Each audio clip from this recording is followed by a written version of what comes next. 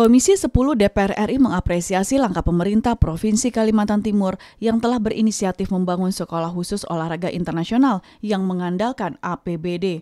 Hal tersebut mengemuka saat Komisi 10 melakukan kunjungan kerja spesifik ke kota Samarinda, Kalimantan Timur.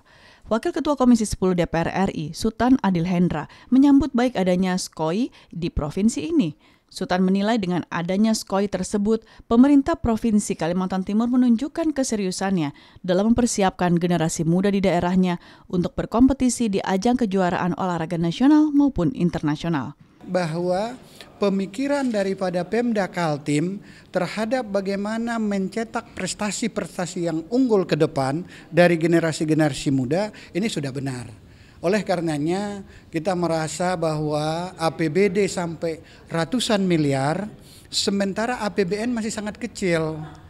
Hal senada disampaikan oleh anggota Komisi 10 DPR RI Doni Ahmad Munir.